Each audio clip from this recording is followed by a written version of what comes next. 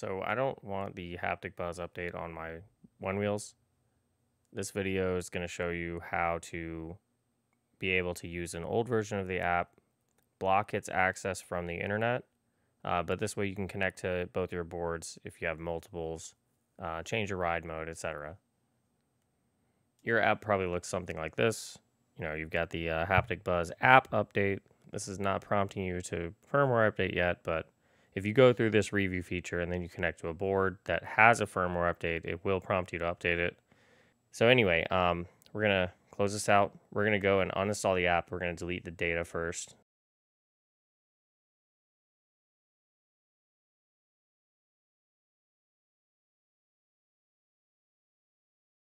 All right, so app uninstalled. Now you're going to go to the Play Store and grab something called NetGuard. This is a firewall app. Um, this will allow you to block internet access to specific apps. After we've done that, we're going to go grab the old version of the Onewheel app.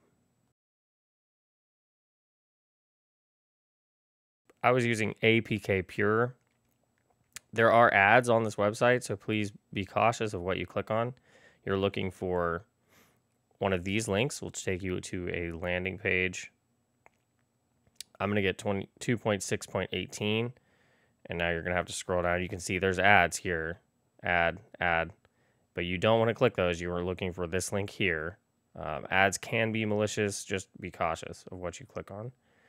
Um, so we're going to give Chrome storage. Sure, I've already already downloaded it. So once that finishes, we're going to put the phone on airplane mode and then we're going to go install it.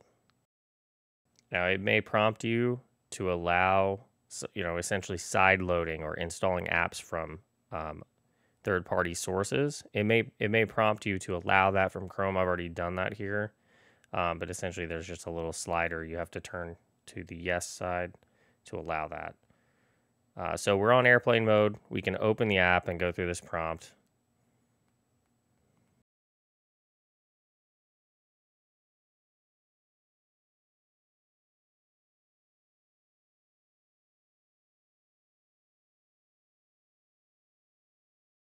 So we can give it access, allow Bluetooth.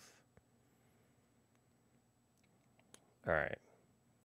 All right, so there's a cut here. It took like four times for me to actually get this to work properly. We're going to turn Bluetooth on and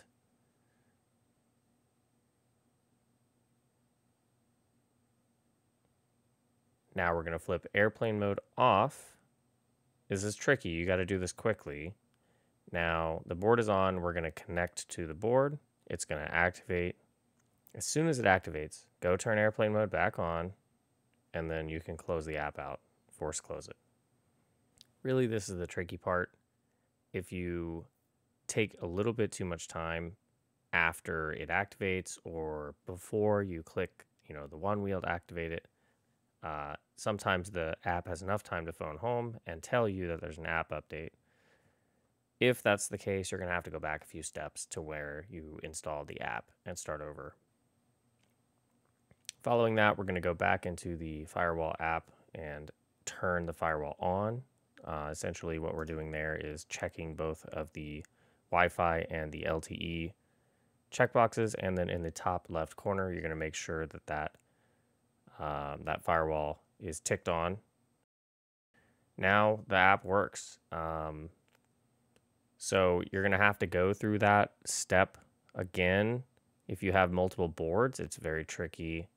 Um, you're essentially you have to do it quickly. Like I said, it took me four times to actually get it. But um, but that's pretty much it. And then the only other thing you need to do is to go into the Google Play Store and prevent the app from auto updating. And then whenever you're prompted to update it, you don't update it. Um, that's the only annoyance, but otherwise it works great. I've been using the app without an update for about a month now. Hopefully, this guide was helpful. Good luck installing the old app and connecting to your boards. Uh, it may take a few tries, but it can definitely be done. So best of luck.